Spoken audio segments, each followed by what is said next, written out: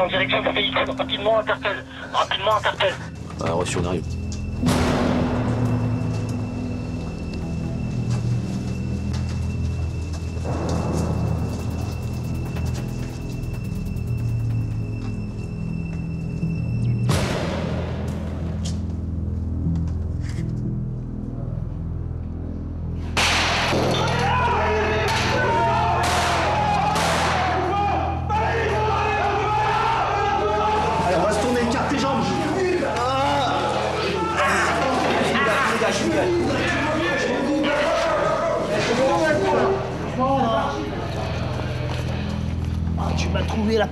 Tu vois pas que tu m'as trouvé la paillasse Pas d'exercice. Stressant Ouais, bien. C'est impressionnant. Même en tant qu'acteur, c'est c'est impressionnant. Il vaut mieux être du bon côté. Des entraînements aussi réalistes, ces policiers d'élite en suivent un par semaine.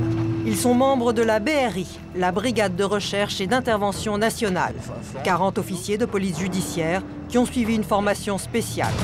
Leur principale mission Arrêter les membres du grand banditisme en flagrant délit. Ça l'a fait.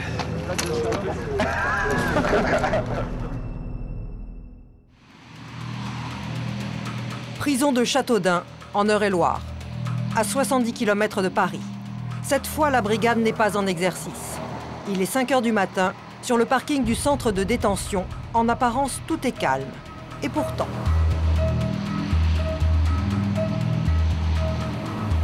Dissimulé à l'intérieur de cette fourgonnette aux vitres sans Clément, enquêteur à la BRI, ne quitte pas des yeux l'entrée de la prison. Il guette la sortie d'un homme qui intéresse particulièrement la brigade. C'est un détenu en fin de peine. Une fois par mois, il bénéficie de 5 jours de permission. D'après les renseignements de la police, l'homme pourrait profiter de cette sortie pour préparer un cambriolage. 6h30, une personne se présente à l'accueil. Là, j'ai une femme euh, brune, cheveux longs, euh, tirés en chignon.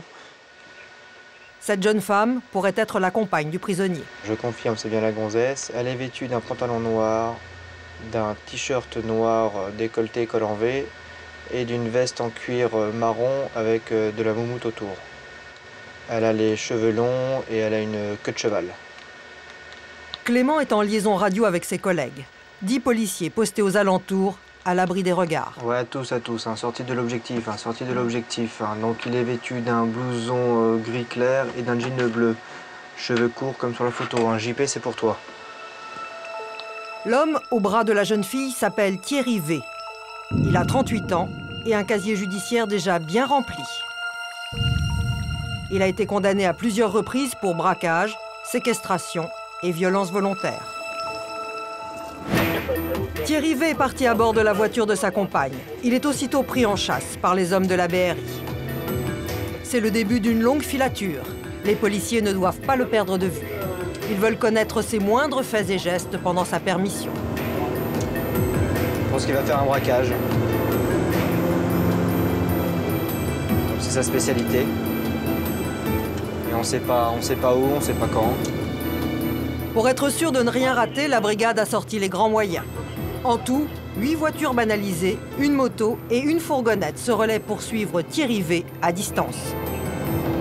Ouais, c'est bien pris pour la cuve. hein. Pour info, moi je suis au PK 59. 59. La voiture prend l'autoroute direction Paris. Le couple va peut-être rejoindre son domicile.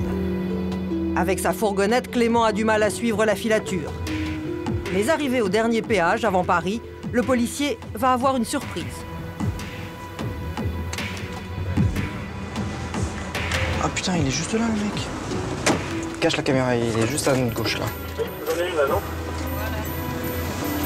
Merci. Ouais, à tous. J'ai le véhicule. Donc silence sur les angles, je passe à sa hauteur. La voiture bleue vient de passer le péage. Clément alerte son collègue en moto qui va prendre le relais de la filature. Le motard suit discrètement la voiture à bonne distance dans la file voisine. L'arrivée sur Paris va compliquer le déroulement de la filature. L'autoroute est embouteillée, les policiers risquent de perdre le couple de vue. Le perdre, c'est rater toute information sur les activités de Thierry V pendant sa permission. Il y a la polo là qui déboîte, là, il est juste devant la polo. Là, il y a beaucoup de monde, donc on peut perdre l'objectif en confondant de voitures, ouais, en étant masqué par d'autres véhicules au moment de changement de direction. Quelques minutes plus tard, les craintes de Clément se confirment. Les policiers ont perdu la trace de la voiture bleue au moment où elle a quitté le périphérique. T'as quelque chose ou pas Ah non, négatif, hein. Oh, Fred, il est pas passé par là, hein. Moi, j'y suis, là. Clément et une autre équipe d'enquêteurs font demi-tour. Ils recherchent dans une autre direction, mais la voiture bleue a disparu. Eh ben, on a perdu l'objectif. Ouais, moi j'ai fait gauche. Une des voitures poursuit la recherche. Je reviens sur mes pas dans le, le petit centre commercial là. Ouais, c'est pris, donc je me dirige vers le Dôme. Clément, lui, se rend au domicile de la compagne de Thierry V. Logiquement, le couple devrait s'y rendre dans la journée. Alors, ben, on va... Alors là, par contre, on va être... Vraiment en milieu hostile. La compagne habite cette petite cité de la banlieue parisienne.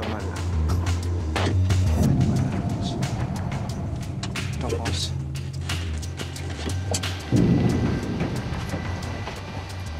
C'est bon ici? Clément a de la chance. À peine arrivé, il repère la voiture bleue du couple, garée sur le parking.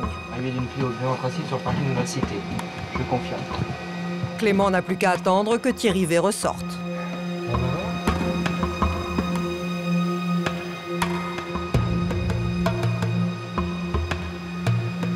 Il profite de ce moment de répit pour faire sa pause déjeuner.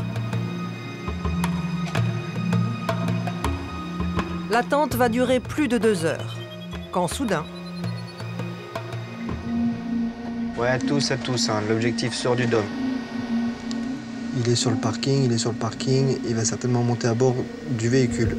Sa nana monte avec lui et il y a une, euh, une jeune qui est à l'arrière. Donc notre objectif est conducteur, il quitte le parking. la filature est repartie.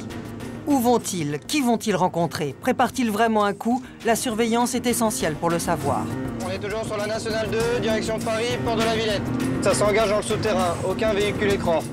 Aucun véhicule écran, cela signifie que Clément se trouve juste derrière la voiture du couple. C'est très risqué. Le policier pourrait se faire repérer. On rentre dans Paris, là, on est engagé dans le, dans le rond-point.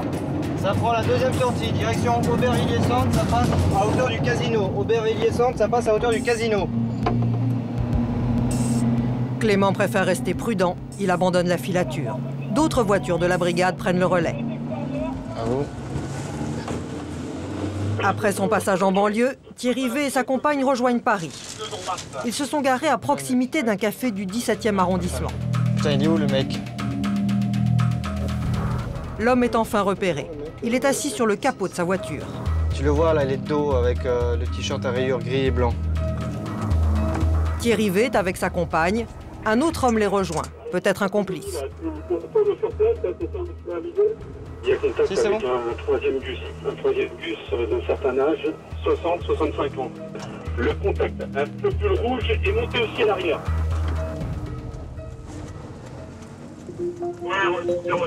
Ils partent se garer un peu plus loin devant l'entrée d'un immeuble. Là, ils sont juste à notre droite. À bord de la camionnette banalisée, Clément se rapproche. Vincent, tu es où, Vincent?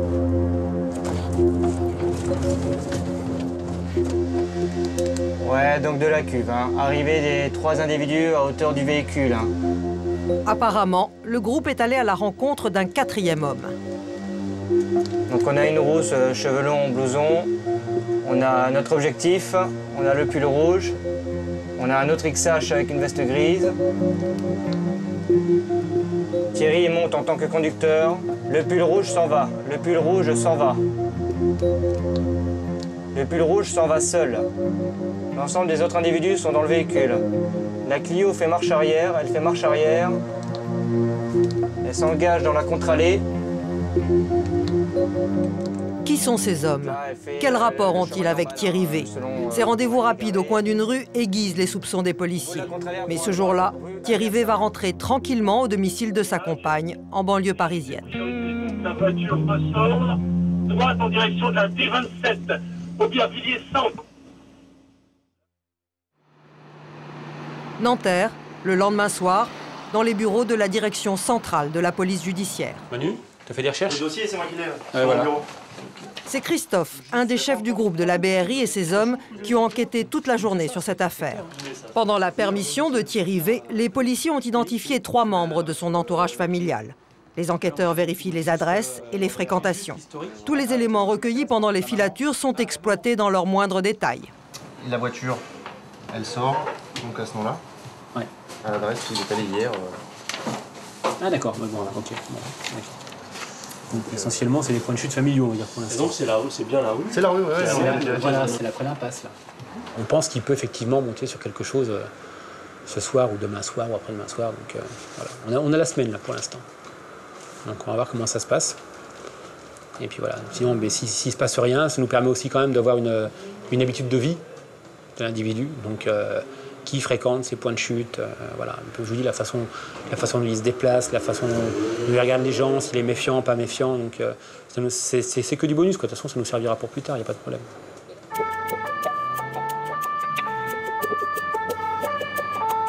Depuis maintenant 48 heures, toute la brigade est mobilisée sur cette affaire. Sur le terrain, les équipes se relaient jour et nuit pour surveiller Thierry V. Ce soir, Jean-Jacques vient de prendre son poste. Il rejoint son groupe en banlieue parisienne, à proximité des points de chute de Thierry V.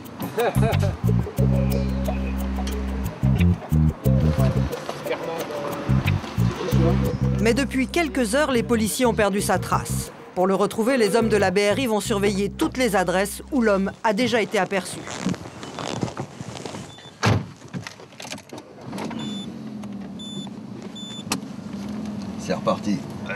Engagez-vous, qui disait. Vous verrez du pays. Ça fait longtemps que t'es dans la police 22 ans. Deux ans. 22 ans. Et motivé comme au premier jour. En fait, t'as la passion. Bah, si tu l'as pas, la passion, euh, tu fais pas ce métier. hein. Jean-Jacques se met en place. Un proche de Thierry V habite dans cette rue. Il a lui aussi déjà été condamné pour sa participation à des cambriolages. C'est le début d'une longue nuit. Les enquêteurs de la BRI ne comptent plus les heures passées en voiture. De longues attentes, parfois interminables. On s'emmerde royalement euh, par moment. hein. Mais ça fait partie du boulot. hein. Là, pour, euh, pour 30 secondes d'adrénaline, quand tu vas faire le serrage, euh, t'as des heures et des heures d'attente et d'investigation quelconque. hein. Ça, c'est sûr. Jean-Jacques s'imprègne à nouveau du dossier en cours. C'est le même, le cheval Ouais, c'est Je lui laisse sa copine. Hein. Putain, non, elle est pas belle. Hein. Un peu la famille Adams aussi. Minuit 27. Après 4 heures de planque, les choses bougent enfin. Thierry V vient d'être repéré avec 4 hommes. Deux équipes d'enquêteurs prennent la direction du périphérique. Rien ne sert de rester à planquer devant le domicile du proche. Il faut aller renforcer les équipes qui ont localisé Thierry V. Pour Jean-Jacques, pas une seconde à perdre.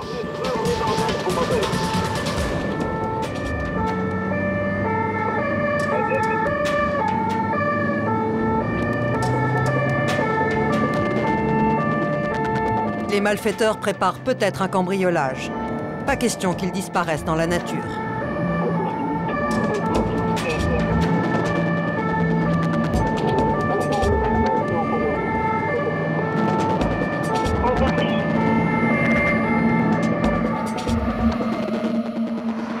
La filature conduit les policiers à Boulogne-Billancourt, en banlieue parisienne. Peut-être le lieu de leur prochain coup. Les cinq hommes ont quitté leur voiture.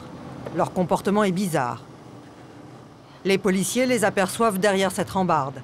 Ils font les 100 pas dans une rue commerçante. Ils ont planté les deux bagnoles en stationnement là, sur l'avenue Ouais, Manu, là, je viens de me mettre en place. et ils s'intéressent à une porte cochère d'entrée d'immeuble qui donnerait sur l'arrière d'une boutique.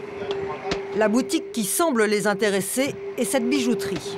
Le manège des cinq hommes autour du commerce va durer plusieurs heures, de longues heures, pendant lesquelles ils paraissent repérer les lieux et observer les mouvements du voisinage. Ils tapent ou merde Mais ils ne feront rien d'autre ce soir. À 4 heures du matin, Les cinq hommes remontent dans leur voiture et rentrent chez eux. De leur côté, Jean-Jacques et les hommes de la brigade de recherche et d'intervention n'ont plus de doute sur les intentions de l'équipe. À mon avis, ils ont fait une reconnaissance. Ils ont été voir, euh, voir comment ça se positionnait et tout. Ça va taper de main. Il ne reste que deux jours de permission à Thierry V avant de retourner en prison. Le lendemain soir, dans les locaux de la direction centrale de la PJ, à Nanterre. Il est 19h. Comme souvent avant une mission, le dîner sur le pouce se passe au bureau. Pizza pour les uns, sandwich ou kebab pour les autres.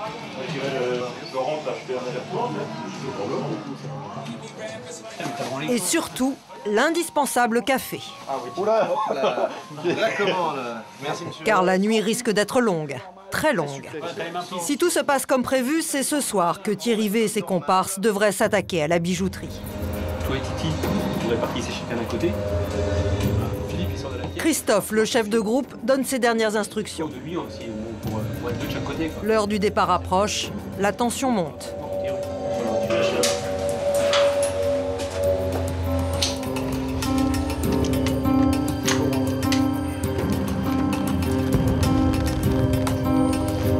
Chacun vérifie son matériel et c'est le départ. Pour réaliser un flagrant délit en toute sécurité, les policiers vont déployer les grands moyens. On va, on va pas le louper celui-là, à mon avis. Ce soir, la brigade tout entière est mobilisée. 40 hommes au total et une trentaine de véhicules. Direction Boulogne-Billancourt. Chaque homme rejoint la position qui lui a été attribuée.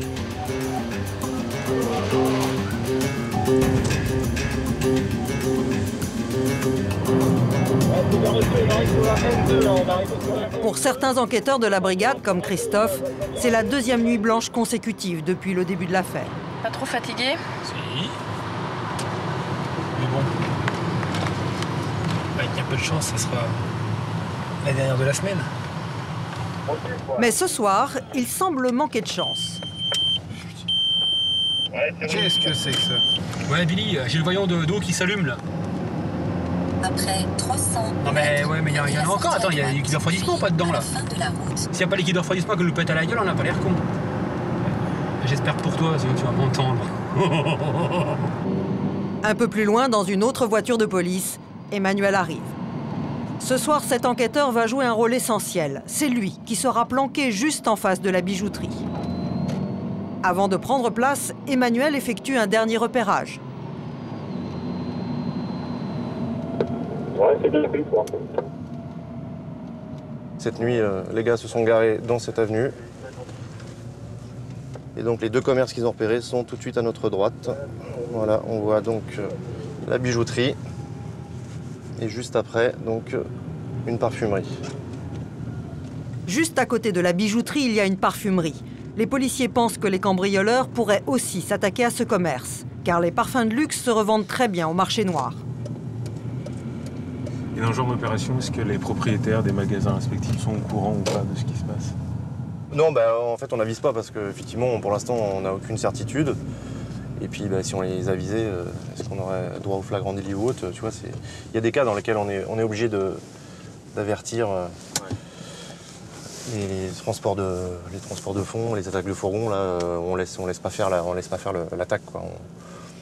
On, on- soit on déroute le fourgon, on prévient les sociétés ou autres parce qu'il y a beaucoup, trop de risques. Bon, là, ça reste un cambriolage euh, simple.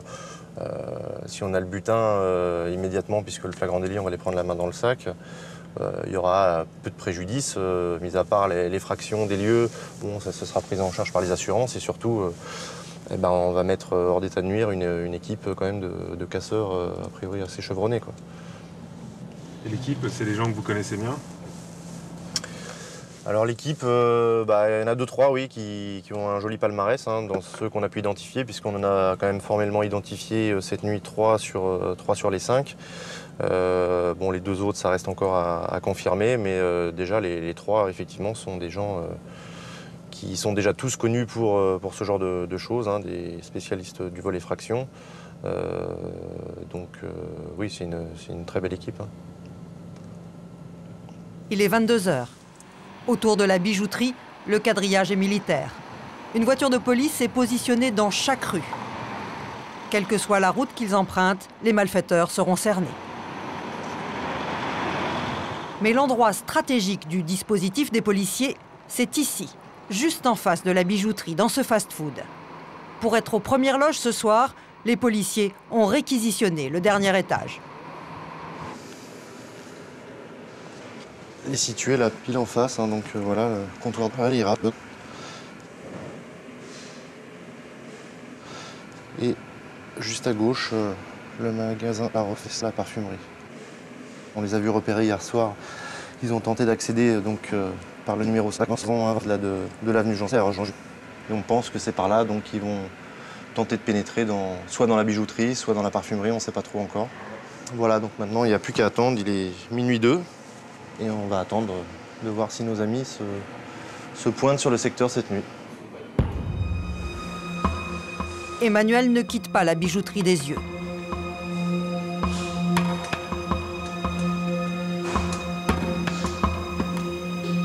Jean-Pierre, son collègue, a une vue imprenable sur les allées et venues de la rue. Si les voyous opèrent ce soir, ce sont ces deux enquêteurs qui constateront le flagrant délit pour l'instruction judiciaire. N'importe quel policier, de toute façon, vous le dira. Hein. Le flagrant délit, c'est le top du top. C'est un petit peu la cerise sur le gâteau, c'est la récompense. Récompense de toutes les heures qu'on a fait euh, sur une équipe, parce que Dieu sait qu'on en fait quand même des heures. Et, là, on se dit, bah, on n'a pas fait ces heures pour rien. Quoi. Donc, pour moi, c'est quand on va les voir arriver jusqu'à l'interpelle. Pour moi, c'est ça. Enfin, si je suis venu à la BRI, c'était pour vivre des moments comme ça. Il est une heure moins le quart. Les suspects viennent d'être aperçus aux abords de Boulogne-Billancourt. de sortie, porte de Saint-Cloud, direction boulevard de la Reine, direction de l'objectif. Reçu 406 arrive. Ah, là on y est, là. On y est, les gars. Pour tous les policiers, c'est l'alerte. Une deuxième voiture des malfaiteurs repérée la veille fait également route vers Boulogne. 23, arrivée de l'Astra Bridge, porte de Saint-Cloud. Hein. Porte de Saint-Cloud. Deux véhicules arrivent, apparemment trois individus dans l'Astra et deux dans la 406. L'Astra vient d'enquiller Victor Hugo en direction de Marcel Samba. Quelle est l'Astra, non? Passage de l'Astra, euh, rue Jean Jaurès, euh, devant l'objectif supposé. Hein. L'Astra est garé, les trois individus marchent à pied autour de l'objectif derrière l'objectif. Alors actuellement, les trois euh, mains dans les poches. Le premier pantalon survêtement bleu, tennis blanche, au bleu euh, genre euh, l'OM. Le deuxième jean, veste kawaii sombre, de couleur noire. Et le troisième jean avec blouson gris. Ça avance tranquille, ça mate un petit peu de tous les côtés, mais, mais c'est tranquille. Aucun sac, rien dans les mains. Celui du milieu, gaillardos, hein T'as vu? Moi, c'est la première fois que je le vois. Hein. Hop, ça a regardé. Ouais, au dispo, au dispo de Donc ça vient de dépasser le centre d'invitation. Les trois ont maté à l'intérieur du centre d'invitation. Et ça continue toujours euh, même vitesse. Et ça arrive, ça va arriver au niveau de la place Marcel Samba. C'est bon parce que t'as vu comment ça mate. Ah ouais. Ça mate, ça mate. Un quart d'heure plus tard, les hommes reviennent. Cette fois, ils ne sont plus que deux.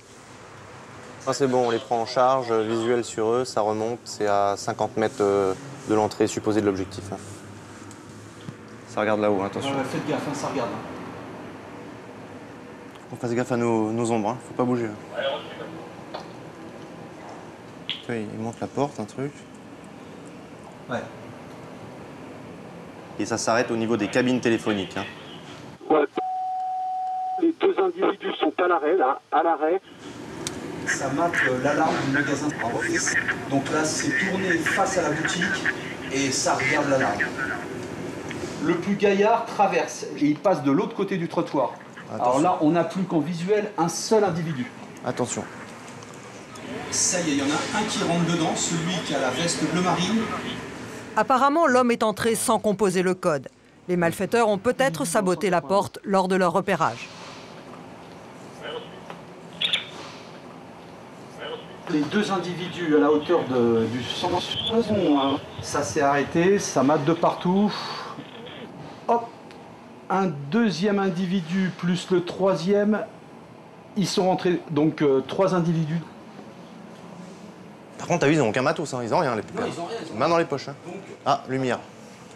T'annonces? Ouais, pour le coup, donc euh, le couloir vient de s'allumer. Au même moment, dans sa voiture, Christophe capte un appel du commissariat de Boulogne-Billancourt. Déclenchement d'alarme euh, sur les ondes de sécurité publique pour nos individus dans les caves. L'alarme vient de se déclencher. Les agents de surveillance euh, devraient se déplacer. Oh putain, il y a la télésurveillance qui intervient. S'ils interviennent, là, on est mort. L'opération risque de capoter. Christophe décide d'appeler le commissariat. Anthony Max 740. Ouais, de Velours 31 aux effectifs de la sécurité publique. On est sur place pour une mission PJ sur le- l'alarme à refait. Donc euh, vous approchez pas, compris? Oui, c'est bien reçu. Bon, voilà, mais attendez, on prévient la responsable parce qu'elle va se rendre c'est froid. Aucun policier ne viendra donc perturber l'opération. Et quelques secondes plus tard, Ouais, pour info, hein, le- il y a un pare-reflet qui s'est déclenché en termes d'alarme, mais c'est pas le nôtre. C'est un qui est à l'opposé euh, au tout début de la ville. D'ailleurs, aujourd'hui, Ah, c'est pas le bon carrefour qui a déclenché l'alarme. Il y a bien un refait qui a sonné sur Jean de Terre. Je sais pas le nôtre, c'est de l'autre côté. Mais ça veut dire quoi? Ça veut dire qu'il y a deux braquages? Non, ça veut peut-être dire que bon, il y a peut-être une alarme intrusion qui s'est déclenchée. ou, euh, Ouais, d'eau, même du haut, même le couloir est éteint, on voit des ondes se rapprocher de la porte. Ça va sortir. Donc, euh, les trois individus sont derrière la porte. Ça y est, ça s'ouvre, ça s'ouvre, ça jette un œil. Le premier sort, le deuxième aussi. Les deux sont sortis. Ils se dirigent vers la place Marcel Samba.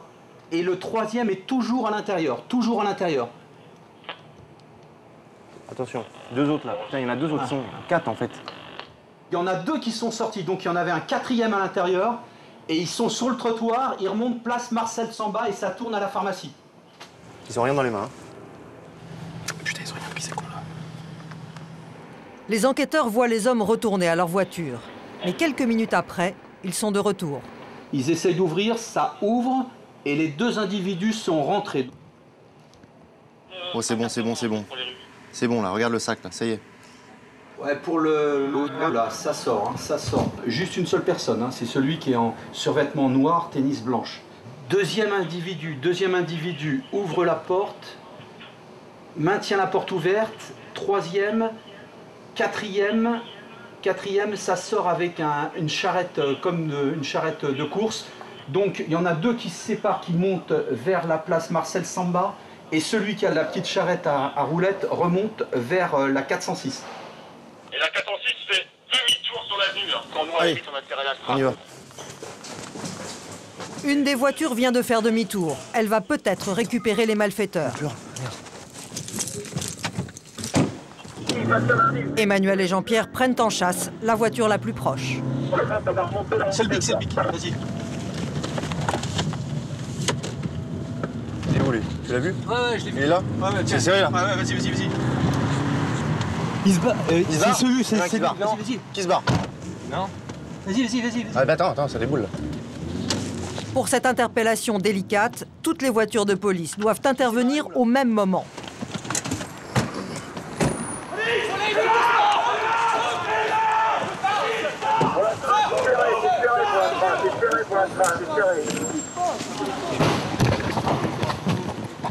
tiens. Vous savez pas Après, on va te palper. Astra là, les gars. Il est tout seul dans la caisse, il n'y a personne. Tu bouges pas. Oui, je bouge pas. Dans la voiture, un seul homme. Par mesure de sécurité, la police bloque la circulation. Il y a un dangereux là. Écartez, j'écarte, écartez. Ouais, c'est reçu, les 30 assurent la 406. L'homme arrêté n'était pas sur les lieux du casse. C'est un guetteur qui était resté dans la voiture. Qu'est-ce qu'il y a Attends, j'ai l'éclair. Écarte les jambes. Qu'est-ce qu'il y a Qu'est-ce qu'il y a Hein Quelques rues plus loin, les policiers interceptent la deuxième voiture. Les quatre autres complices sont interpellés. Il y a Thierry V avec trois membres de sa famille. Mais les enquêteurs ne trouvent aucune trace du butin. Rien non plus dans la voiture. Et ça, c'est un souci, car entrer et sortir d'un hall n'est pas un délit.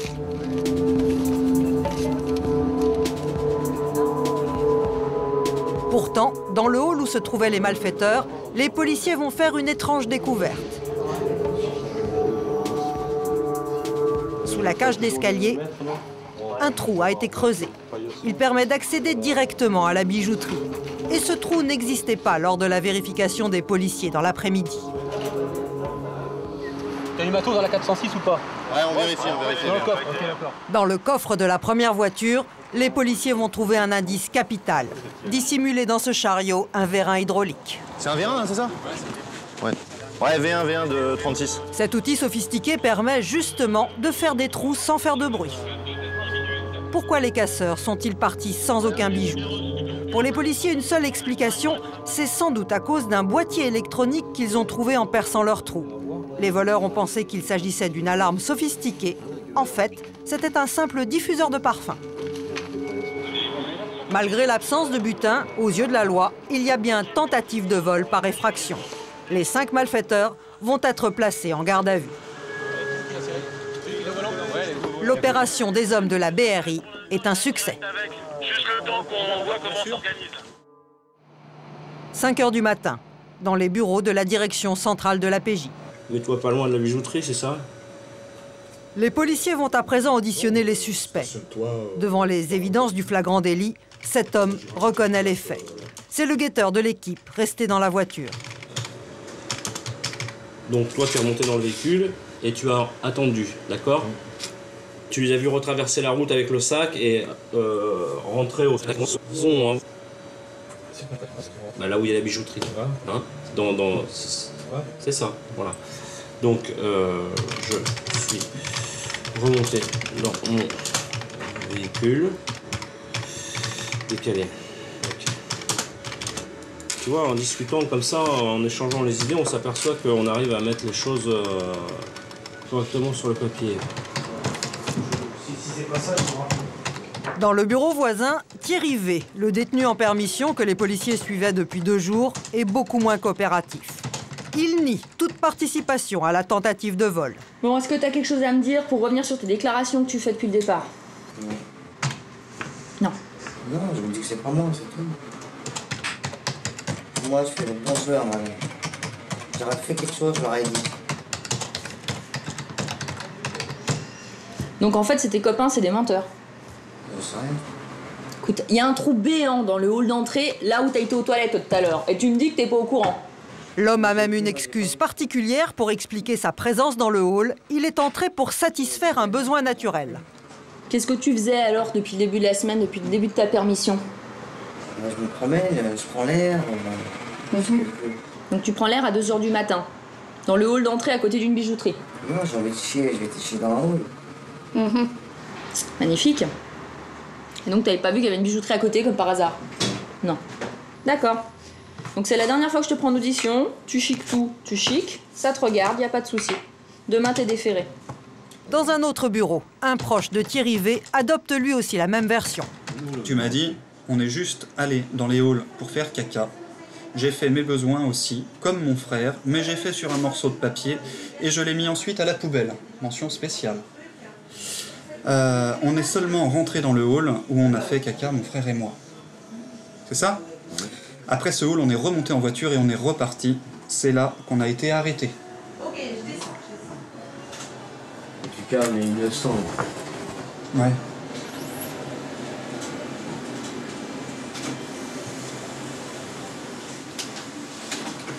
T'es mal, hein, tu le sais. C'est ton avenir, hein, tu joues là. hein. Rien à voir Ouais, mais voilà, ça c'est ce que tu dis, mais euh, nous on n'est pas d'accord avec ça. Et les constatations effectuées euh, montrent que nous on a raison et que toi t'as tort et que s'il y a un menteur, c'est toi. Ouais, ça. Voilà, c'est tout. Voilà. Quand tu dis euh, je dis la vérité, etc., tu m'insultes. T'insultes le travail de mes collègues et le mien. Donc voilà. Euh, c'est pas grave, hein. C'est pas grave. Nous, on sera payé par euh, la sanction qu'apportera la justice. Est-ce que t'es bien rentré dans le numéro 85 Non, en fait, non.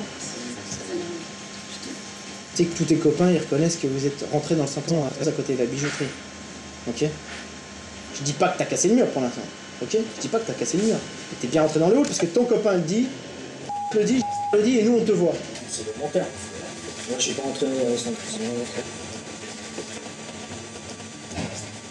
Explique-toi. Des t'ont vu. Ce sont des. Les policiers t'ont vu. Ce sont des.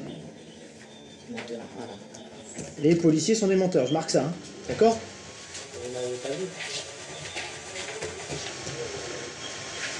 Quand même que tu te rendes compte que tu racontes n'importe quoi. T'es bien rentré dans ce hall. On est d'accord? Je t'ai vu faire, on vous a vu faire. On est 40.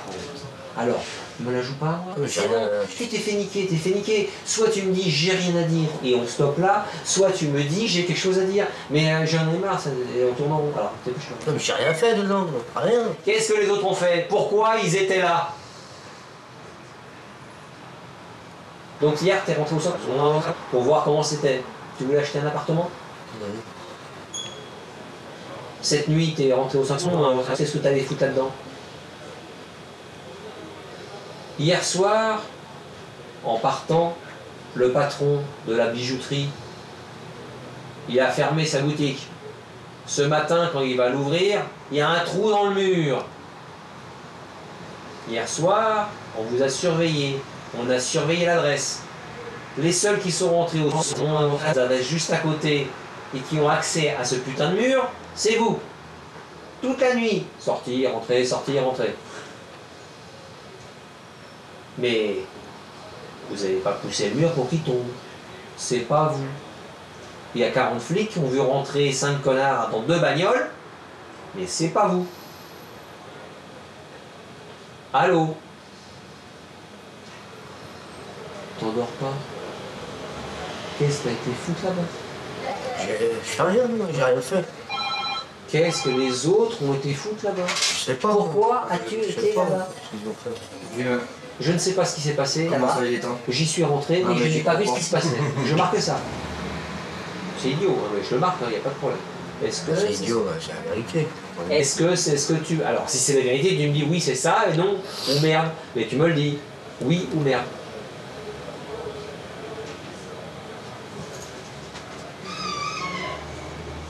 Bon. Hop, viens là.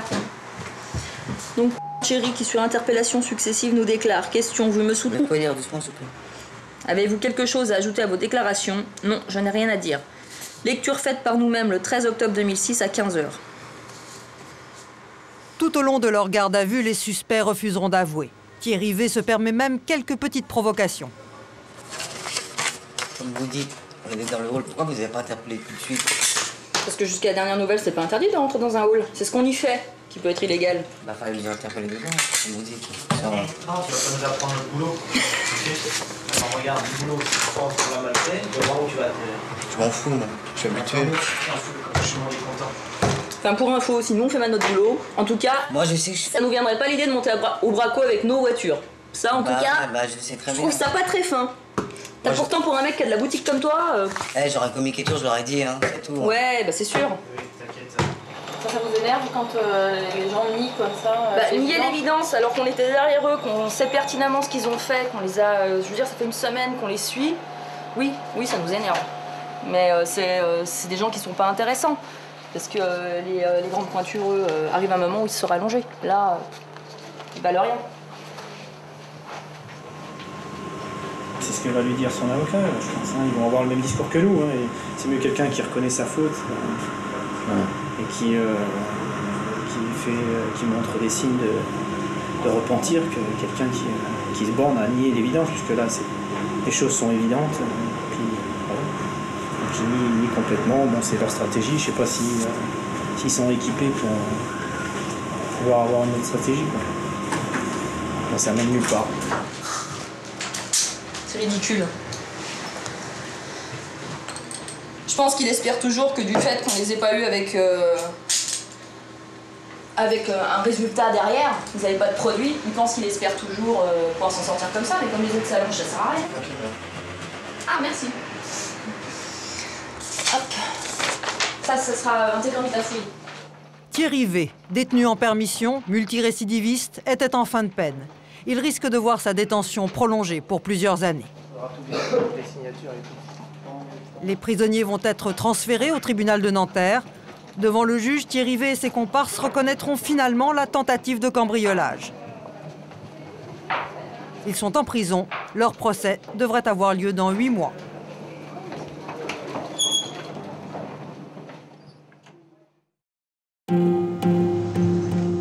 Quelques jours plus tard, en banlieue parisienne, dans le Val-de-Marne. Cette fois, nous suivons le groupe d'enquêteurs spécialisés dans la traque de faux papiers. Aujourd'hui, Philippe est en surveillance dans un dépôt de la RATP pour une affaire très sensible. Il doit discrètement assister à une commande de faux papiers. Ce matin, un intermédiaire qui revend des papiers dans le milieu du banditisme doit venir voir un homme expert en faux documents. La planque a lieu juste en face du domicile du commanditaire. Simultanément, d'autres policiers du groupe sont en train de suivre le prétendu faussaire.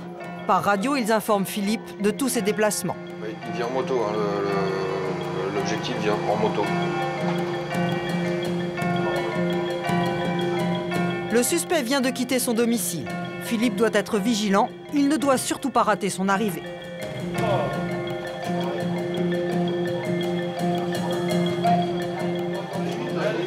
Ouais, reçu. Donc là, on a l'objectif qui arrive. Il est en pédestre.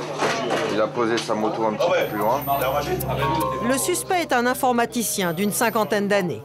Sans emploi, il a déjà été condamné pour escroquerie, faux et usage de faux. Au niveau du, il va arriver au niveau du bar avec la devanture rouge là-bas. Aujourd'hui, il a donc rendez-vous avec son revendeur dans le milieu. C'est l'homme en noir, ici à droite. Cet intermédiaire n'a pas le même profil que l'informaticien. Ancien détenu, fiché au grand banditisme, l'homme a été incarcéré pour tentative d'homicide et vol à main armée. Ce n'est pas la première fois que les policiers observent des contacts entre les deux hommes. Mais le rendez-vous d'aujourd'hui est très important.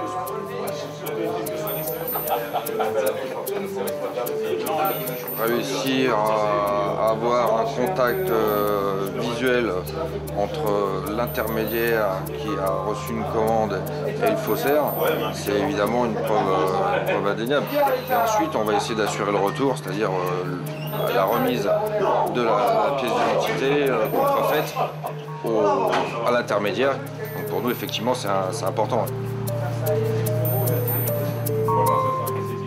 Ouais, c'est reçu. On a vu le contact hein, et le fait qu'ils rentrent à l'intérieur, mais on ne sait pas où ils sont positionnés. Si tu toutefois tu as une, euh, un visuel, putain, ça ressort déjà. Attends, il est avec le gamin. L'intermédiaire est accompagné de son fils. Le rendez-vous des deux hommes se termine. Philippe n'a pas pu voir leur conversation, mais il n'a aucun doute. L'intermédiaire est venu passer sa commande. D'ici deux jours, le suspect devrait lui livrer des pièces d'identité contrefaites.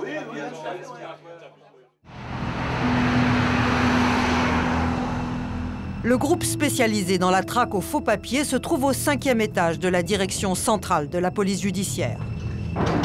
Les huit policiers de la brigade sont les meilleurs experts du faux document administratif en France. Faux passeport, faux permis de conduire, faux visa, fausse carte d'identité. La mission du groupe est de débusquer les faussaires.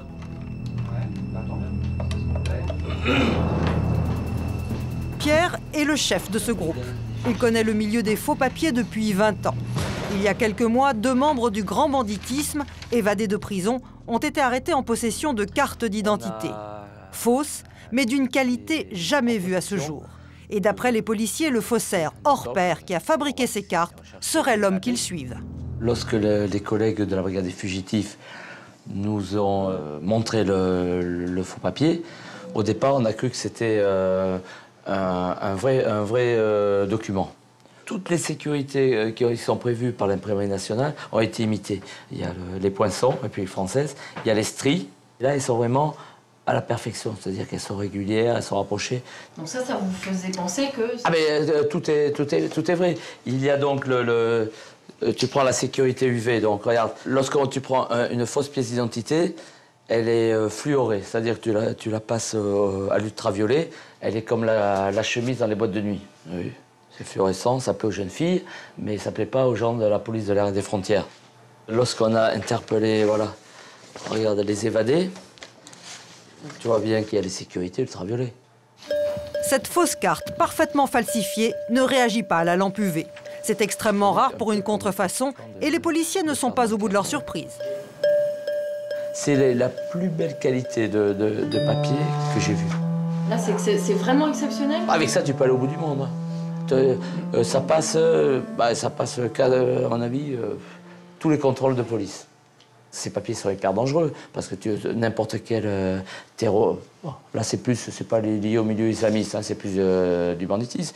Mais tu as un mec qui est évadé, un trafiquant de stupes, un escroc. Tu peux aller dans n'importe quelle banque, tour, tour, n'importe quel compte.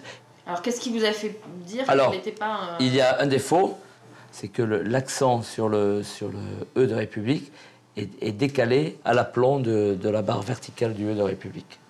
Alors que tu le prends sur un authentique, il est, cent- il est, il est centré, alors que tu vois sur le, sur le, le faux, l'accent est, est décalé. Voilà, il y a toujours un petit défaut. hein. Les policiers ont mené leur enquête pendant six mois.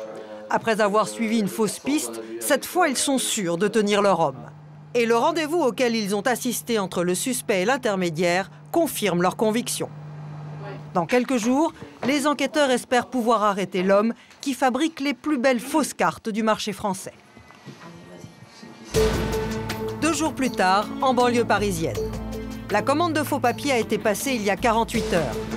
Le suspect ne devrait pas tarder à les livrer. Les policiers sont installés dans un appartement vide, juste en face de la maison du prétendu faussaire. La vue est imprenable. Pour être sûr de ne rien rater, les enquêteurs ont installé cette caméra. Montée sur un bras articulé et positionnée au ras du sol, elle permet de voir sans être vue. La caméra est reliée à un moniteur. Les conditions de surveillance sont idéales. On peut difficilement faire mieux, hein, parce qu'on est, bon, on est abrité, euh, on est euh, en plein sur l'objectif, euh, c'est optimal. Et on n'est pas visible surtout. Jérémy et Franck ne sont pas les seuls enquêteurs sur place. Le reste du groupe est posté autour du domicile, prêt à prendre l'homme en filature s'il sort de chez lui. Ah, ça y est, notre ami. L'homme sort les poubelles. Rien de bien passionnant pour les policiers. Il y a un instituteur retraité. Et pourtant, quelques instants plus tard, Ouais, au dispositif, là. Ouais, donc l'objectif vient de sortir de son bocal. Il tient dans la main gauche euh, un porte-chemise là, de, de dessinateur. Et il vient de rentrer dans son atelier, hein, mais toujours à l'intérieur du pavillon. hein, toujours à l'intérieur du pavillon.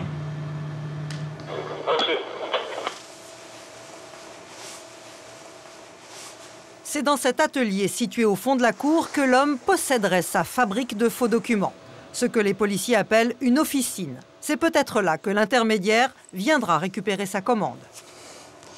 Si l'intermédiaire arrive, on va, on va laisser euh, rencontrer euh, l'objectif.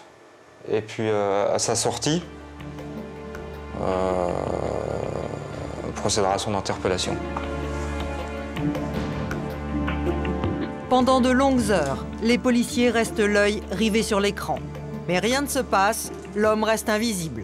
Il est terré dans son atelier. Les enquêteurs surveillent son pavillon depuis maintenant plus de 9 heures et personne ne sait quand la journée va se terminer.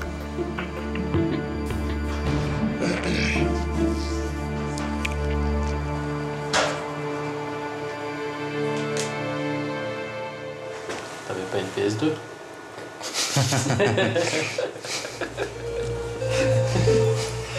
Ça nous plaît hein, ce qu'on fait. Il n'y a personne qui nous a forcé à, entrer dans ce genre de service. hein. C'est nous qui, étions motivés et on est volontaires pour le faire. Donc euh, il ne faut, pas regretter ses choix.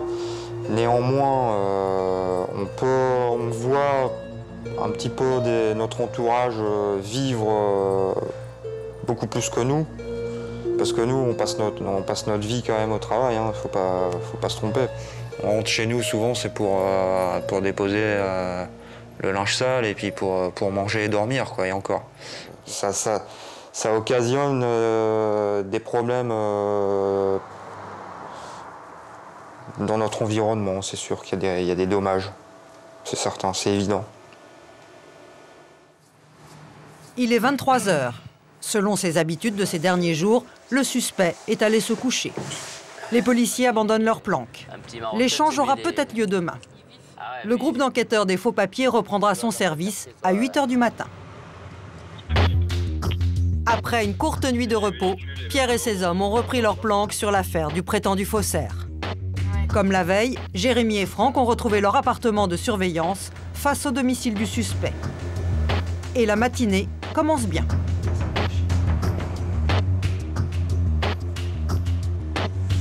Posté dans un département voisin, un policier vient d'annoncer que l'intermédiaire venait de partir de chez lui. L'échange aura peut-être lieu aujourd'hui. Ouais, au dispo, il y a Fred euh, qui est à, dans le 94. Il vient de sortir en scooter. Ouais, bien reçu, Pierre. Bonne nouvelle. Ouais, il est parti là de Pantin. Donc, euh, soit il vient vers ici, soit il rentre chez lui ou, ou autre, quoi. Là, on est prêt. hein. Euh, Pardon, porte dorée. porte dorée. C'est pas bon, ça, porte dorée. Oh, c'est bon, porte dorée. Après, porte de Vincennes. Oh, c'est bon.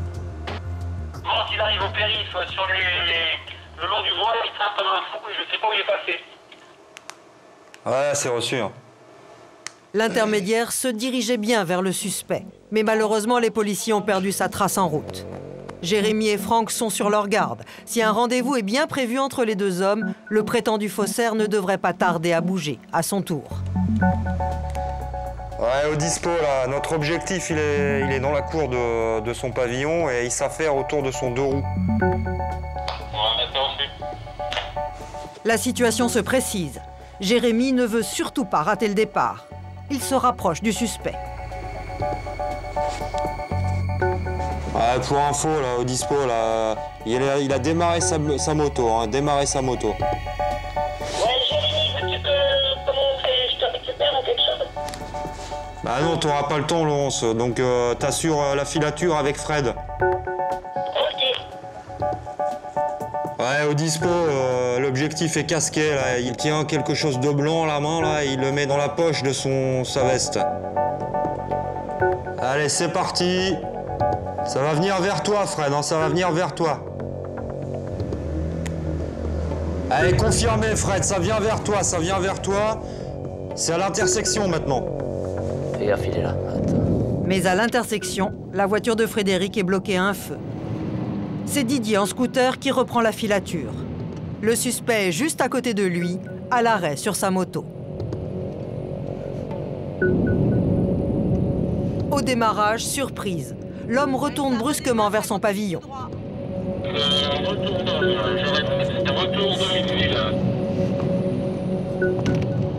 Didier abandonne la filature après le rond-point. Il ne veut pas se faire repérer. C'est Laurence qui prend le relais. Non, il continue. Merde.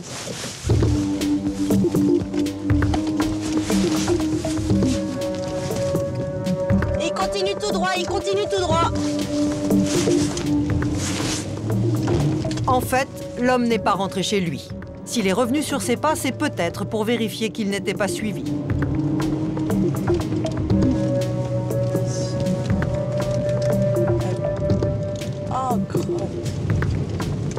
L'homme a disparu. À ce stade de l'enquête, la police a donc perdu la trace des deux suspects. Le flagrant délit est compromis. Les enquêteurs vont peut-être rater l'échange de documents entre les deux hommes. C'est où, là Il a dû prendre à gauche parce que.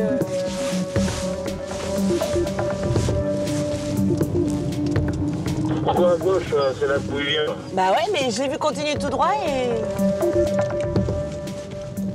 Moi, je l'ai vu à peu près jusque-là. Et après, le temps qu'on arrive, nous, euh, c'était. On l'a plus. Mais les policiers ont un plan de secours. Ils savent que les deux hommes se retrouvent souvent dans une brasserie aux portes de Paris. C'est la dernière possibilité de les retrouver. Didier et Pierre sont déjà sur place, mais aucune trace des suspects. Pierre rejoint Laurence dans sa voiture. Laurence est la dernière à avoir vu l'objectif. C'est elle qui va prendre pour le reste du groupe. Mais il y a des jours, il faut suivre les gens. Et, Pierre Et, et ça, et ça raccroche. Non, non, mais moi, écoute. Il me dit ça rentre au dôme. Il s'en va. entendu, Je re- Et puis tout de suite, j'ai pensé que c'est peut-être pas sûr. Voilà. Et, et Laurence, ça nous est déjà avancé. Voilà. Et donc pourquoi est-ce que je m'arrête et que je regarde Parce que je me dis, mais il après, faut. après, il était où Alors après, Eh ben, tu après, t'approches, le- tu passes les vitesses. Eh ben, j'ai passé les première, vitesses. Tu sais que c'est pour toi, voilà. Bah ouais, bah après j'ai passé les vitesses ouais, et voilà. passé les vitesses, on l'a plus vu. Bah Tant oui. que la moto raccroche. Mais ça, c'est pas que ta faute à toi. Voilà, mais il y a que moi qui me fait courir. Ouais, mais t'es la première, Laurence. Non, je suis la deuxième, Pierre. Ouais, non, il a fait une erreur d'appréciation. Par prudence, je suis montée. C'est pas de la prudence, c'est de l'accélération qu'il fallait. Didier, va voir là devant, il y a, vers la, la camion poubelle, il y en avait un qui ressemblait.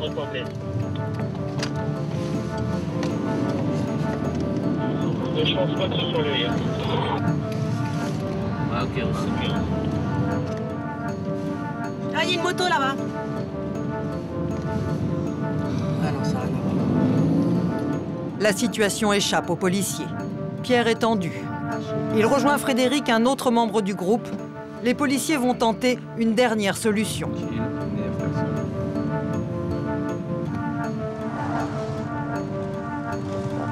Je suis cerné par les cons. Non, t'énerve pas, ça sert à rien. L'homme est peut-être revenu entre-temps à son domicile. Les policiers font un passage dans sa rue et ils ont de la chance. Juste devant le pavillon, une moto, sans doute celle du suspect. Il y a un trocard 743 qui est venu.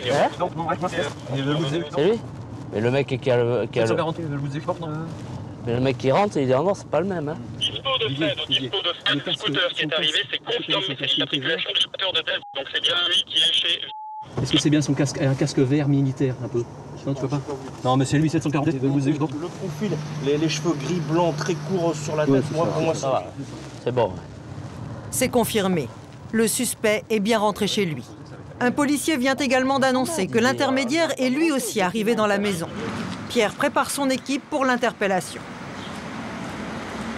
Pas.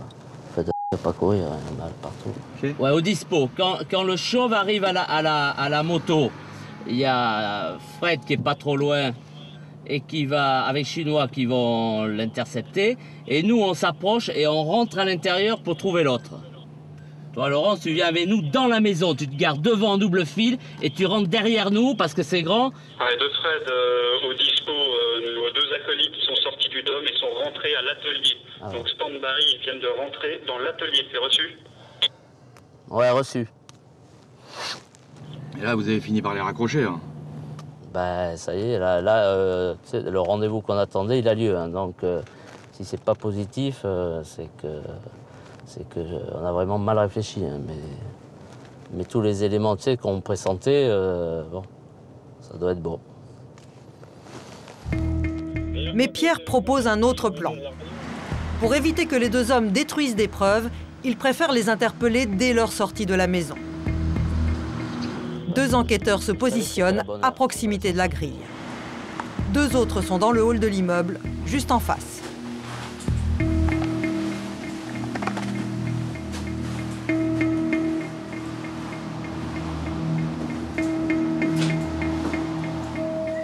Stressé là par le. Non, Impatient une petite excitation, disons. J'ai le droit de dire une DME Non. Non, je n'ai pas le droit. C'est quoi une DME Une demi-molle exploitable, ça tu peux pas le passer.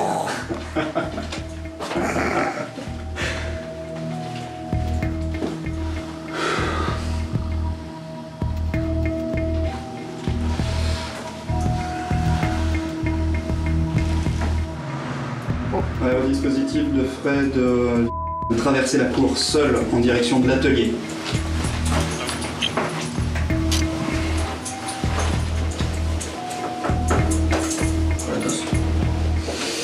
Daisy a son casque à la main, son casque à la main, donc ça va pas traîner.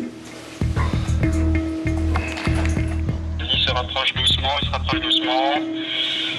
Il appuie sur l'interrupteur pour l'ouverture du portail. Attends, bouge pas, bouge pas, il repart dans l'autre sens. finalement. Il rentre à l'atelier. Il est rentré chez lui, mais il le suit à l'atelier finalement. On attend le déclenchement de, de l'atelier. le déclenchement de, de la gâche. Il est avec lui. J'appuie sur l'interrupteur. Se dirige vers le portail. Franck, c'est bon, le portail est ouvert. Vas-y.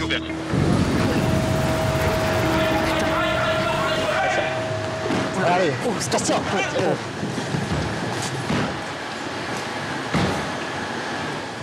Police, police. Personne ne bouge, police. Bouge pas, police. Palp Rien de dangereux, rien d'interdit sur toi Bouge plus, ça va. Tranquille.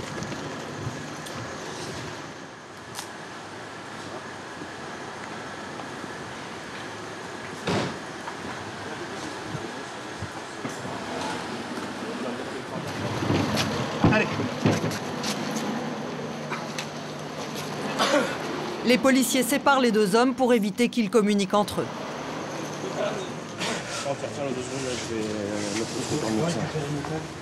T'as eu peur ou quoi Hein T'as eu peur pas Non, bouger. j'ai j'ai- j'ai vu une personne qui venait directement sur moi, j'étais surpris. Bon, euh, tu es en garde à vue, hein On va t'interpeller pour un trafic, sans doute de quelque chose. On va voir ça, hein Tu habites où Alors, quels sont Qu'est-ce qui est à toi, pas à toi Est-ce que tu vis tout seul Qu'est-ce qu'il y a là-dedans Dedans, Oui. Là, c'est- ça, c'est le, le Actuellement, t'es tout seul Oui, oui, je suis tout seul, avec mon gamin. Il est là Oh, oui. Je vais pas te foutre le bordel dans ta maison, je vais fouiller quand même un petit peu, mais voilà, moi, désigne-moi le matériel où tu, Voilà, mon, tu travailles là, t'as tout là mon- Tout mon matériel est là. Ton voilà. bureau est là Voilà, voilà, c'est ça. Mais derrière, tu vas là, te- euh, là, tu tournes derrière. Souvent, qu'est-ce que Mais- t'as derrière Mais quand, quand je vais derrière, je vais voir les gens qui sont là-bas. Dit, Mais là, tu es allé deux fois avec lui, là, tout à l'heure, là. T'es allé, vous avez fait des Bah, allers-retours. on, on joue, on joue au foot avec le gamin, là, vous n'avez pas vu? Bah, derrière, là, dans... Oui, Bah oui, dans le hall. là, le- Mais le Qu'est-ce que tu occupes, toi, exactement? Ça, Bah, c'est ton domicile. Voilà. Ça, c'est ton matériel. C'est là que tu fais le- que tu travailles. Voilà, c'est là ça. que tu bricoles. C'est là que je bricole, voilà, c'est ça. ouais. Mais cet ordinateur ne ressemble en rien à un ordinateur de prétendu faussaire. Alors, tu joues jusqu'au bout, mais je ne ferai pas de cadeau, hein, ça, c'est normal. Regarde, chacun fait son métier. Moi, je vais, je vais le trouver. Il manque rien, il n'y a pas de plastifieuse. On est des professionnels quand même. Je sais ce qui manque, je sais ce que tu l'as ici. Donc tu peux me faire le truc et je vais tout dépouiller, je vais te le trouver. Alors, mais, regarde, t'as des gosses, machin tout, t'as vu, je suis gentil, je suis correct. tout. Tu veux jouer, tu joues. Non, non, mais je sais pas, je n'ai pas, j'ai pas Voilà. l'intention de jouer à- à- avec Non, vous. mais le mat voilà, le, matériel, tu- je- euh, voilà, si t'es grand, grand garçon, tu cherches pas d'histoire à tes gosses, bon, ce qui est fait est fait, on prend le matériel, on s'en va, et puis c'est tout. Tu comprends ce que je veux dire? Oui, non, mais je- je- Alors après, libre à toi, si tu veux pas, tu veux pas, c'est pas... Mais je vais le trouver. hein. Je sais qui il est, quand je sais qui il est, je... L'homme continue de nier. Pierre rejoint l'intermédiaire, resté à l'extérieur. Il veut assister à la fouille.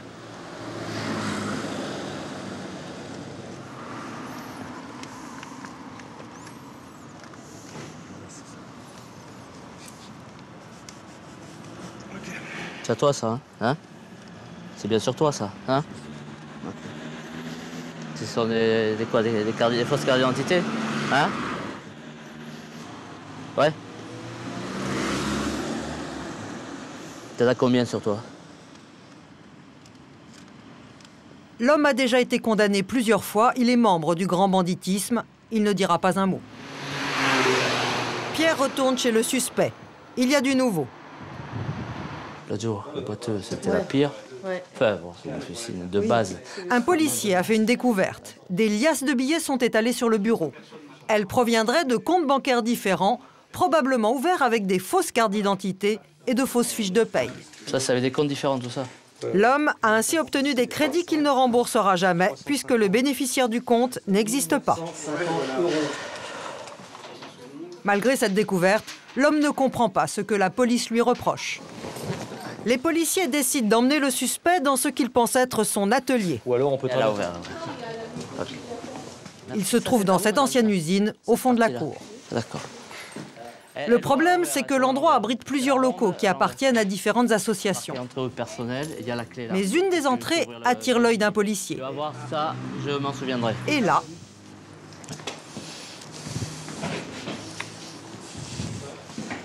Pierre Là-bas. Moi, je sais que t'as tout là. Alors, on me fait pas le cinéma. les policiers trouvent enfin ce qu'ils cherchaient depuis huit mois. Ah, t'es gâté. hein. Ah, c'est une usine. hein. Je sais même pas ce que c'est. Et c'est la caverne d'Ali Baba. Un enquêteur tombe sur une photo qui prouve que le faussaire travaille bien ici. Ce local. C'est pas, c'est pas à moi. Non, mais c'est toi qui utilises tout le local et c'est toi qui est ici. Qui est ici. J'ai l'utilisation de ça. Voilà, tout ce qui est ici t'appartient. Le, le local n'est pas à moi, j'en ai l'usage. Voilà, que tu en as majorité, tout ce l'usage. qui est là-dedans, les ordinateurs, tout ce qui est dans l'appareillage informatique et l'outillage, tout ce qui est dans la- tout ce qui est là-dedans, c'est à toi. Et Qu'est-ce que tu fais avec tous ces ordinateurs Qu'est-ce que tu fais avec tous ces ordinateurs Ça, pour un bureau, c'est un vrai bureau. Hein. Bah, D'habitude, on trouve un ordinateur, lui, il en a six. Pour les policiers, c'est du jamais vu. Pierre est stupéfait. Il connaît le milieu des faux papiers depuis 20 ans. C'est la première fois qu'il découvre une officine aussi sophistiquée. Entre eux, les enquêteurs le surnommaient l'artiste. Vas-y, rentre, rentre. Félicitations, euh, monsieur. Belle usine à gaz. Quand même respect, parce que là, c'est. On en connaissait qui avait de la place et qui la remplissait, mais habituellement pas avec, pas avec, pas avec ce genre de matos quand même. C'est. La liste du matériel est impressionnante. Une table à découpe rétroéclairée. Une mallette à ultraviolet permettant de lire les sécurités des documents officiels. Une plastifieuse haut de gamme. Des cols et des pigments en tout genre. Des cartouches d'encre que l'homme remplit lui-même à la seringue. Et une encre à variabilité optique, imitant parfaitement les procédés de l'administration. Tout ici est dédié à la fabrication de faux papiers, jusqu'aux toilettes transformées en laboratoire ultraviolet. Ça, il regardera tout à l'heure. L'atelier est une véritable réplique miniature de l'imprimerie nationale. Mais le suspect nie toujours. On va faire. Qu'est-ce que ça sert à quoi tout ça On essaye de résumer. Ça sort d'ici 48 heures, on, aura, on va faire le tour de tout. Je fais de la, de la vidéo et du, du traitement de l'image. Donc euh, essentiellement, voilà, je suis, euh, je suis un peu ce qu'on appelle un fou de l'informatique et, euh, Du graphisme. euh, et je, fais, je fais beaucoup de photos numériques et voilà, c'est un plaisir. voilà. De toute façon, il suffit que vous regardiez les disques durs et vous verrez. Hein. Tout ce qui a été fait. Tu connais le système, hein, de toute façon. Pardon De quoi J'ai fait de la photo. Il un peu de papier. Ça, de toute façon, on va, on va trouver. De toute façon, il y a un dossier, je sais que t'en fais. de toute Il y, a, il y a déjà des papiers saisis, il y a tout. Il y a, c'est- Et je regarde le lisson, il, il en a deux, il en a deux. il y en a deux sur lui, qui sont d'excellente qualité d'ailleurs. Qu'est-ce qu'il a sur lui Deux cartes d'identité. À son nom À son nom. Fais le malin. C'est pas non, on a le temps.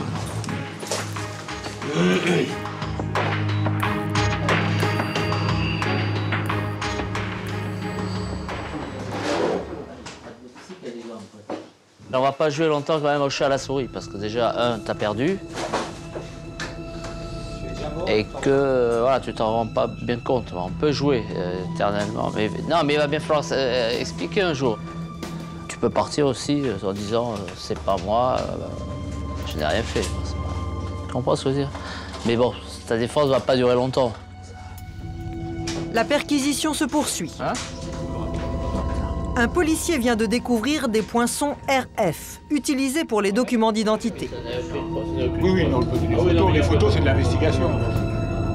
Ce sont des plaques qui servent à faire euh, euh, du, euh, Il y a une chute après, hein, sinon c'est pas drôle. du dessin, n'importe n'importe quoi où c'est que j'ai besoin de support dur. C'est ça Et donc ça sert notamment pour les RF. Bah oui. Apparemment.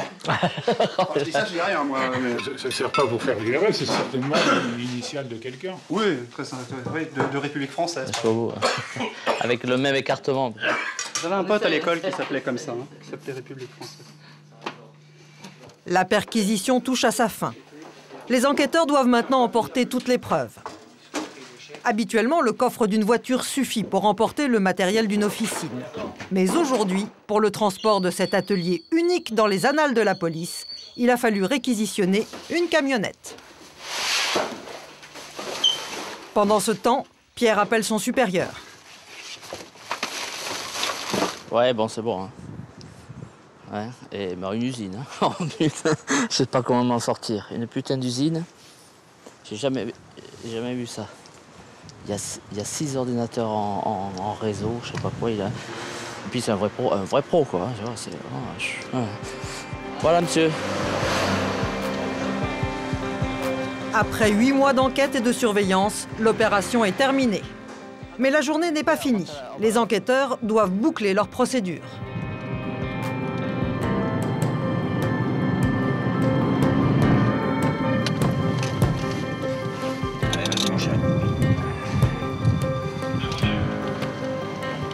Les policiers vont interroger le suspect. Ils aimeraient obtenir ses aveux. Bon, s'il est où je peux aller dans mon bureau, par là Mais toute la nuit, l'homme continuera à nier. Il n'est pas ce prétendu faussaire génial qui alimente le grand banditisme en faux papier.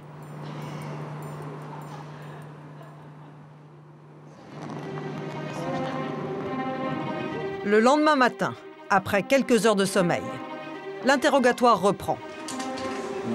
L'homme campe toujours sur ses positions. En parallèle, les policiers s'intéressent aux billets de banque retrouvés dans sa maison. Les retraits d'argent ont été effectués sous l'identité d'un certain Alain. Les policiers pensent qu'Alain et le suspect ne font qu'un. Il aurait fabriqué une fausse carte pour ouvrir des comptes frauduleusement. Mais le prétendu faussaire affirme qu'Alain est un ami qui vit actuellement au Mexique. Je pense que c'est un, un Alain.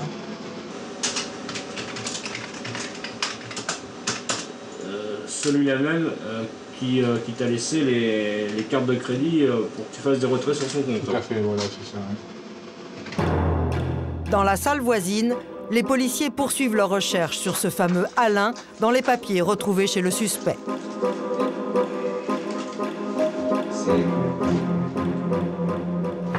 Bulletin de paye au nom de Alain. Carnet de chèque au nom de Alain. Ok, ordre de transfert de fonds vers l'étranger. RZB Austria. 2500 euros. Oh lolo. Autriche, Luxembourg, Lituanie. Des transferts d'avoirs sont effectués vers des banques à l'étranger.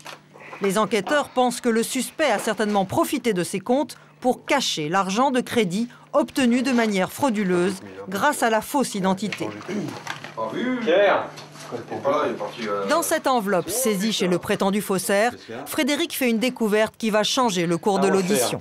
Avec sa gueule. Trois cartes avec la photo du suspect. Trois fausses identités qui lui ont permis d'ouvrir des comptes bancaires. Monsieur fait des faux comptes. Monsieur est un escroc. Il est carbonisé. Les enquêteurs décident aussitôt de confronter le suspect.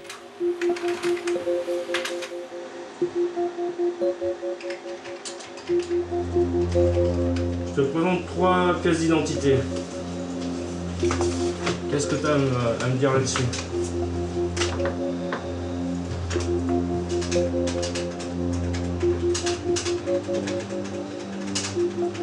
déconnes.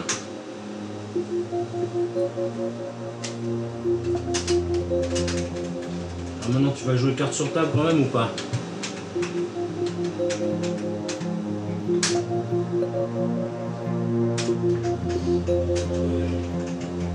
Cette fois, l'homme peut difficilement nier l'évidence. Il y, a, il y a- il y a tout le dossier. euh, là, il faut que tu. euh, faut, faut arrêter de raconter des conneries sur ça parce que là. euh, hein, euh,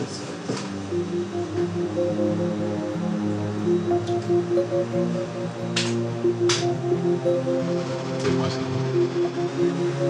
Et là une connaissance. Donc, tu as ouvert des comptes au nom de Alain, c'est ça? Et dans la foulée, le suspect craque. Il avoue avoir fabriqué des fausses cartes. Tu as refait deux cartes avec la même identité, avec ta photo, en changeant un petit peu euh, ton physique, hein, pour te permettre d'aller tirer de l'argent ou de faire des achats avec les cartes. Hein? Le compte, il est approvisionné euh, comment Par des crédits que tu as fait sous cette identité Hein Voilà.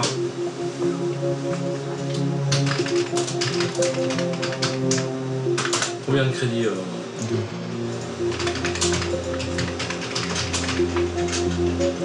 Quelle somme euh, Le montant des deux prêts 16 000.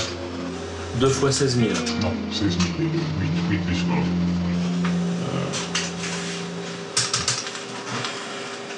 Combien t'as fonctionné déjà sur les 16 000 euros? Sur le compte, je pense pas qu'il reste euh, beaucoup d'argent maintenant. Le- Donc t'as pratiquement bouffé les 16 000 euros. Voilà, c'est ça. Total, l'homme aurait escroqué différents organismes de crédit pour plus de 100 000 euros. Il reconnaîtra également avoir fabriqué, pour les revendre, toutes sortes de faux documents. Des cartes d'identité, des cartes de police, en passant par des permis de conduire ou des avis d'imposition. Les cartes coûtaient entre 800 et 1000 euros pièce.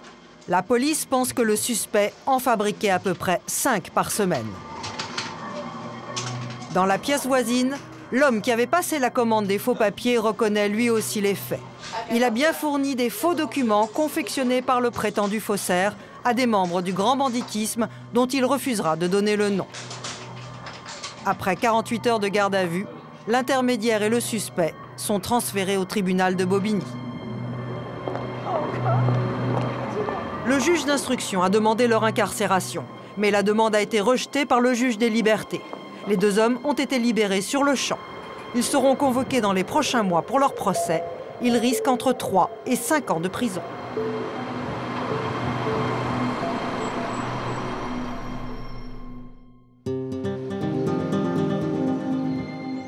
Nouvelle opération très délicate pour les policiers de la brigade de recherche et d'intervention. Il est 5 heures du matin sur un parking en banlieue parisienne.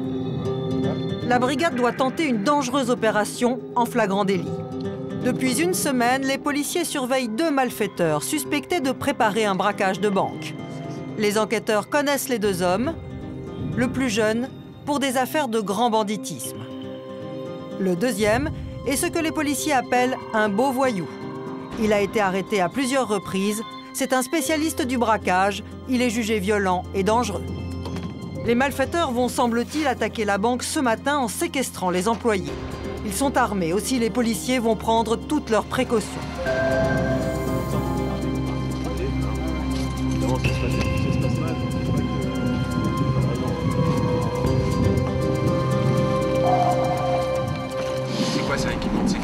Voilà, hein, donc un gilet pare-balles, euh, ce qu'on appelle nos gilets tactiques qui nous permettent d'avoir armes, menottes et tout à disposition. Malheureusement, vous comprenez bien que c'est aussi peut-être incompatible avec une mission discrète. Ce qui nous sauve, c'est qu'il fait nuit et qu'avec un petit vêtement civil discret par-dessus, sans avoir besoin de faire filature, ça passe. Donc au dernier moment, il faut juste euh, se déshabiller un minimum et que nos qualités de policier apparaissent euh, distinctement pour qu'il n'y ait pas de méprise avec les voyous. Quoi. Ce matin, les policiers ont surtout emporté tout leur armement lourd.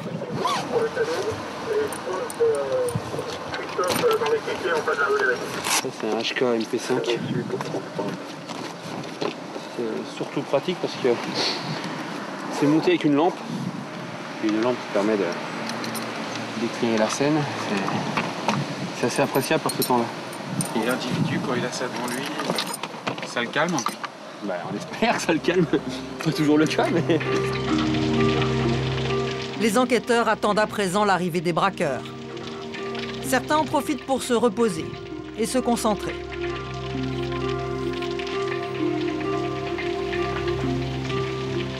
Les seuls à devoir rester éveillés sont Clément et Jérôme. Ils assurent la liaison radio avec les équipes qui surveillent les domiciles des braqueurs. Il remonte la rue du Port en direction de l'université, donc le trottoir de gauche quand on remonte. hein. Et l'autre est arrivé ou pas? Non. Non, Dans un cas comme ça, les employés sont au courant ou pas? Sur lui, donc c'est le vrai Non, mais là, on va. De toute manière, il faut, faut pas qu'ils aillent, euh, qu'ils touchent les employés avant qu'on arrive. On va les intercepter avant qu'ils qu'ils y aillent, en fait. Parce qu'on sait jamais comment ça, ça peut finir. 25. Quand on se lève pour une opération comme ça, c'est le quotidien ou alors il y a un stress pa- particulier? C'est. C'est le boulot, tout simplement. Voilà, puis on fait abstraction. Quoi. De toute manière, on est, on, on est équipé, on est entraîné, on est solidaire, donc il n'y a pas de souci. De toute manière, si on commence à, à se poser trop de questions ou vraiment avoir peur, non seulement on se met en, en danger, puis on met ses, ses copains aussi en danger. Là, c'est- c'est c'est carré, il n'y a pas tout est étudié et puis, euh, puis on, a, on a la force, mais surtout on a la surprise. C'est que, euh, pas à vous, mais sinon personne n'est au courant, quoi. Surtout pas eux. Et surtout pas eux, quoi. Donc euh, la surprise, je pense, c'est ce qui est le plus important, et la surprise, elle est là. Et vos proches, qu'est-ce qu'ils en pensent? Enfin, Vous avez des familles, vous êtes mariés? Ah, ma petite femme est collègue aussi, là. Donc euh, ça, je- on va dire, ça, c'est compréhensible, on se comprend. Et je pense que c'est plus euh, elle qui inquiète euh, tous les matins, euh, avec le petit texto qui va bien au réveil. euh, je peux pas dormir depuis que t'es parti ce matin. Moi, ma petite famille, elle sait pas. Donc quand j'ai une opération comme ça, elle le sait pas, tout simplement. Ouais, c'est bien Je dis qu'après. Pour elle, je pars comme d'habitude au travail, mais je, je, je dis pas ce que je fais parce que l'inquiétude va. C'est plutôt dans l'autre sens. Malgré la décontraction apparente, le stress commence à monter. Il est 7h30. Clément et Jérôme attendent qu'on leur annonce le départ des braqueurs.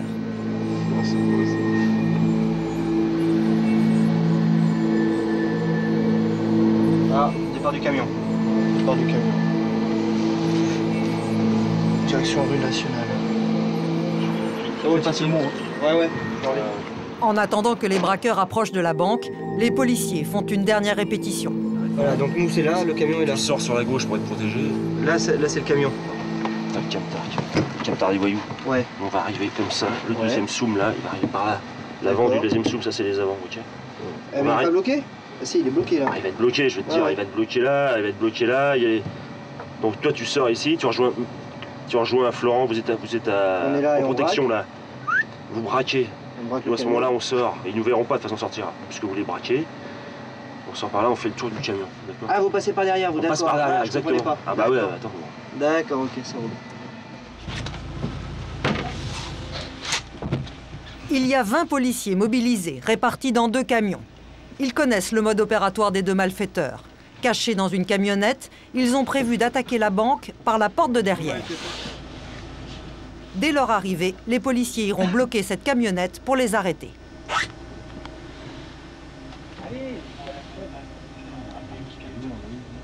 Ouais, de 13, hein, de 13, j'ai les deux individus avec eux. Les deux montent, euh, enfin, je peux confirmer, un individu est monté et l'autre passé à droite sur, sur la droite du camion.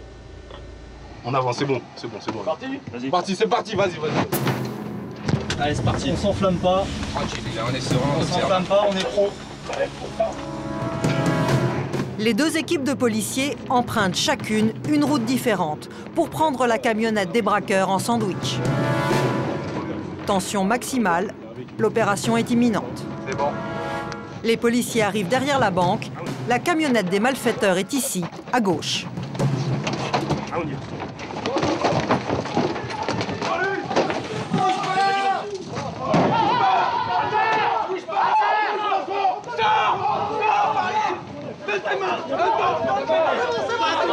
C'est bon, c'est bon C'est bon, c'est bon On se calme C'est clair C'est bon Combien Combien Deux, deux, deux Deux, deux, deux, deux, deux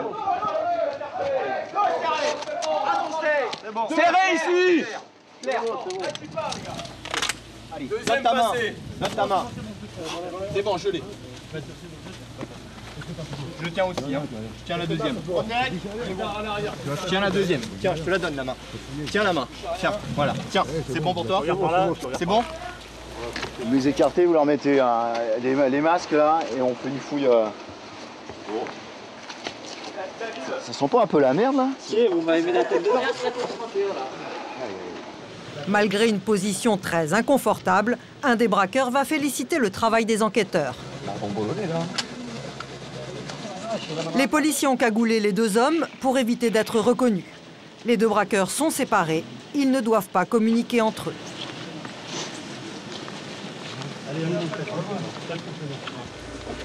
Tu m'entends Ouais. Ok. Donc je suis police judiciaire, j'apprends. la PGR. Il est exactement 8h20. Tu es en garde à vue, tu es interpellé à quelle heure Oui, 5 minutes, ça fait 5 minutes. Donc à 8h15, c'est interpellé, donc tu es en garde à vue depuis 8h15. D'accord La sujet, a droit à des droits. Tu sais faire prévenir quelqu'un ou pas Bouge pas, bouge pas. Mon avocat. Cette opération à haut risque est terminée. Aucun blessé, pas un seul coup de feu n'a été tiré.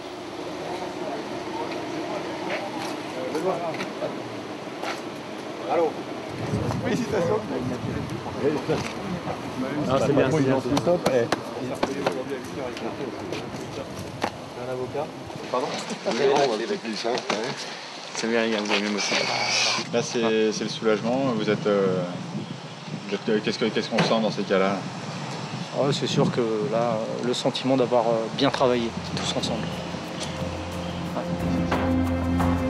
Le lourd dispositif policier était bien justifié. Dans la camionnette, les enquêteurs retrouvent des armes. Juste avant d'être arrêtés, les deux malfaiteurs se sont débarrassés d'un 357 Magnum et d'un calibre 38. Un peu plus loin, les enquêteurs découvrent également les munitions. On a manifestement empêché un vol à main armée de se commettre, donc euh, c'est une réussite ouais, pour les gens qui allaient subir ça, oui. Parce que manifestement, et indubitablement, ils étaient dans leur euh, camion euh, et c'était pour euh, commettre euh, une agression par rapport aux employés qui allaient rentrer à l'arrière là.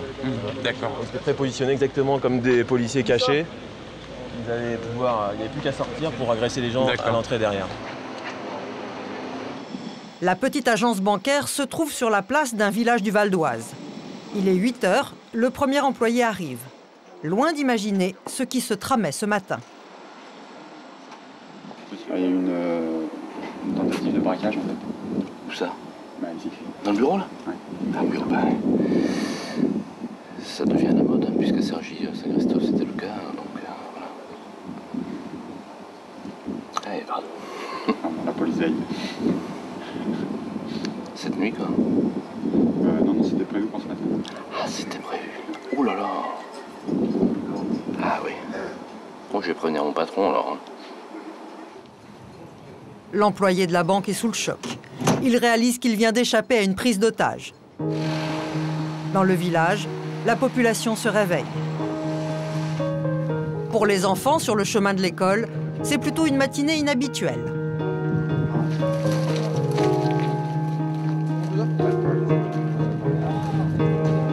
La police a établi un périmètre de sécurité.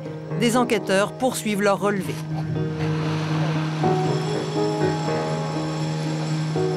Les deux malfaiteurs, quant à eux, vont être emmenés à la police judiciaire. Pour cette tentative de vol à main armée, ils risquent une forte peine, 10 ans de prison. Les policiers de la brigade de recherche et d'intervention viennent de réaliser leur troisième flagrant délit de braquage en bande organisée depuis le début de l'année.